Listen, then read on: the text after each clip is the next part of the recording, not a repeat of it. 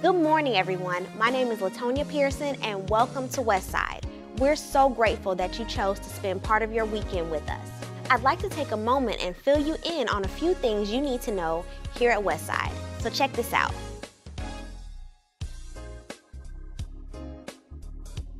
If this is your first time here, we certainly hope that you'd make Westside your new church home. Also, be sure to fill out the connection card that was handed out by the ushers and please drop it in the basket during offering time. Tickets for the Black Tie Gala honoring Pastor Ronald L. Bobo Sr.'s upcoming retirement are on sale now following each worship service at both campuses. This auspicious occasion takes place on Friday, January 11, 2019 at 6.30 p.m. at the Cedars Banquet Hall located at 939 Lebanon Drive in South St. Louis. Tickets are $50 each and are also available in the church office weekdays between the hours of 9:30 a.m. and 4:30 p.m. as well as on our church's website. Let's make this an incredible and unforgettable night for Pastor Bobo.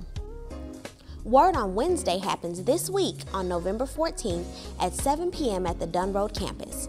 Also meeting for the month of November at the Dunn Road campus is Kids Word on Wednesday, Sunday morning Bible study workers meeting, new member orientation class, and tweens ministry. Don't miss our midweek experience. The Widow's Might Ministry will meet this Saturday, November 17th at 2 p.m. at the Hibachi Grill and Supreme Buffet located at 10740 West Florissant. For more information, contact Reverend Paula Wills at 618 610 3932. Next Sunday, November 18th, is being set aside as Sharing Hope Sunday as we reflect on and honor the untiring work that Sharing Hope International Ministries has done locally as well as globally. We will welcome as our guest preacher Reverend Dr. David E. Goatley, Executive Secretary of the Lott Carey Foreign Mission Convention of Washington, D.C. Sharing Hope has been wonderfully blessed to spread the love of Jesus Christ around the world, and that day will provide you an opportunity to continue to be a blessing to its mission and work.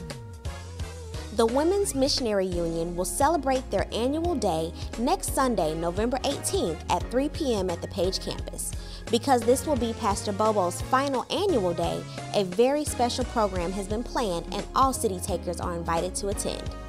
Mark your calendar for our joint Thanksgiving Day worship on Thursday, November 22nd at 10 a.m. at the Page campus.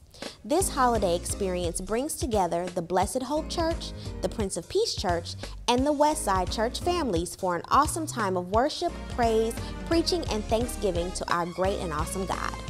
Donations are being accepted for the 2018 Thanksgiving Day Love Luncheon that takes place on Thursday, November 22nd from 12 noon to 3 p.m. at the Page campus. See today's proclaimer for a complete list of needed donations. Volunteers are needed to assist with setup, serving, and cleanup. You are able to sign up to volunteer on the same insert as your list of donations. We're soliciting your help, City Takers. It's that time of year again when we can be a blessing to children whose parent is incarcerated.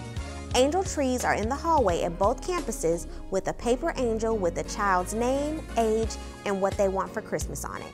Take an angel and be a blessing to a child this year.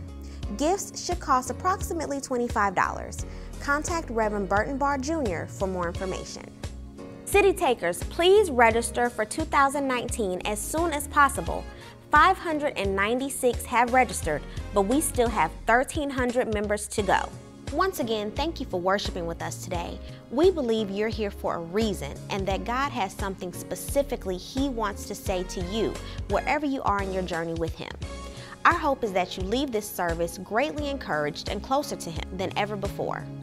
Also, be sure to follow us on social media so you can stay connected to the City Taker community and keep up on all of the exciting things God is doing here at Westside.